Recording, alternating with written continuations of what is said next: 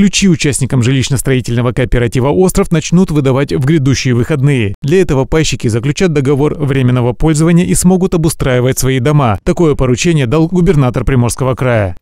А вот э, договор пользования, значит, да, то есть, э, который позволяет жителям э, этих коттеджей значит, зайти там, что-то делать, значит, да, понимая, что это уже дом, мало ли что то прибраться, значит, где-то что-то под, подделать. Но это всегда дом пустой, когда стоит, э, требует себе внимания. Это почему вы организуете эту работу, значит, да, то есть соберите этих людей, 38 пользователей, проведите, значит, среди них, э, еще раз, как говорится, э, покажите им эти дома, а, значит, э, подготовьте справки с тем, чтобы не то, что они там ходили куда-то писали, чтобы справки были готовы. Кто пожелает, расписался, вручили ключи, отдали. Кто не пожелает, лежат там. Понятно? Есть. Вот сделайте такую работу. Есть, Значит, сделайте эту работу э, на субботу сделайте.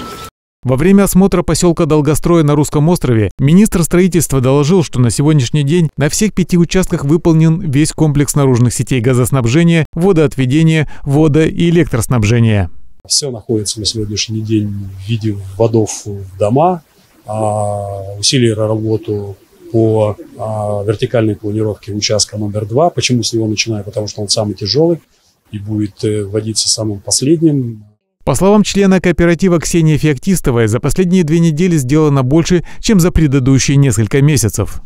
Были проблемы с газом какие-то нерешаемые, и все откладывалось, откладывалось, но самое критичное, что не было никаких сроков. И не было вообще разговоров о том, что дома начнут отдавать пайщикам. То есть их передали в ЖСК, а, сети, сети не были подключены, все это тянулось, тянулось, и не было неопределенности. Вот Олег Николаевич приехал и к точке расставил. Теперь уже мы все точно знаем, в какие дни, когда кто получает дома, ключи. В ходе осмотра ЖСК пайщики рассказали, что добираться до своего участка не всегда удобно. Пропуск на территорию получить проблематично, а идти далеко. Безусловно, считаю правильным, если бы автобус от стоянки э, ходил бы здесь по городку и э, желающих бы э, развозил, с тем, чтобы люди не усложняли себя там, дополнительными пропусками, поиском, там, не усложняли бы работу, в том числе и подрядных организаций, здесь находясь на площадке.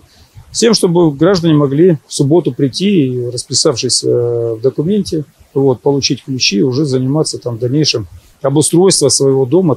Напомним, на сегодняшний день ЖСК «Остров» включает 264 объекта. Членами кооператива являются 375 семей. Ранее на общем собрании при участии губернатора Олега Кожемяка утвердили дорожную карту, которая предусматривает подключение домов к инженерным сетям и укладки асфальта в поселке на острове Русском в этом году. Олег Завьялов, Елизавета Драгомирова. Новости на восьмом.